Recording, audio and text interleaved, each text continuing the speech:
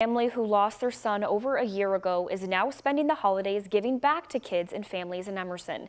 In honor of their son, the Johnsons spent tonight giving out more than 500 gifts to kids and bringing the North Pole to them.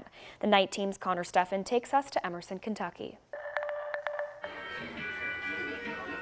For Angela and Chad Johnson, so happy to see all of these smiling faces. community is everything. It is, but it's even more special this time of year. It's why they flipped their flooring store into a one night only winter wonderland, welcoming in 500 plus little guests, They've already been out two different times to get more gifts. making sure every last one leaves with a toy they've paid for out of pocket. But look past the bright lights and decorations, Today's just very emotional for us. Sorry.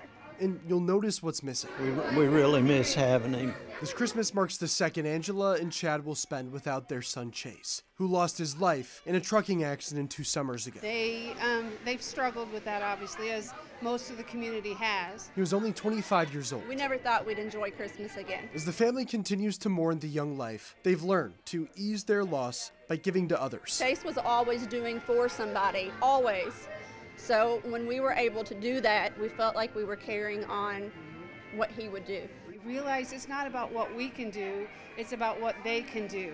And they can do this and know that Chase would absolutely get the biggest kick out of it. It's not just a way to channel grief, but a way to keep Chase's spirit alive. It's a special thing for us to see that so many people still remember Chase. From those who knew him dearly to those who didn't know him but are making new memories in his honor. So happy to see all of these smiling faces. It, it absolutely brings the magic back to the holidays. In Henry County, Connor Steffen, the WHAS 1119, on your side.